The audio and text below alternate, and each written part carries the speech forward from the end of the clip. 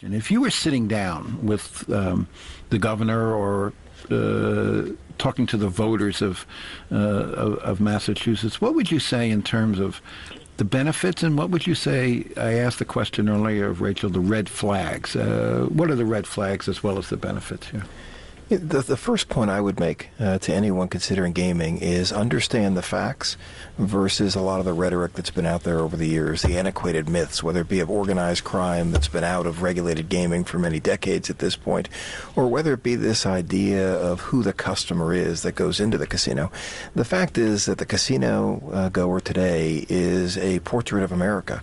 A plurality are, earning between sixty and hundred thousand dollars a year. Uh, three quarters of them are setting a budget. Most of that is $200 or less. They're, a budget for what they'd lose. A, a budget for how they will enjoy themselves uh-huh. when they're there.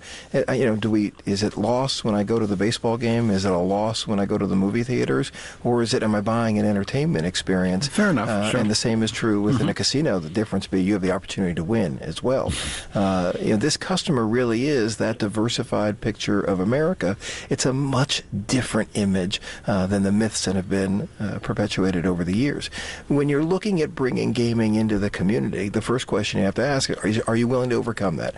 Are you willing to take a hard look at the law enforcement data coming out of Columbus, Ohio right now, out of Philadelphia, out of Pittsburgh, where it shows actual decreases in crimes uh, since the casinos have come in? You see a much different environment when you do that as well, are you willing to uh, look at the industry not for every last uh, little bit you can squeeze out of it at the end of the day, but something where you want to build a world class entertainment center that is the next uh, hub of, of, of, innovation, of the entertainment experience?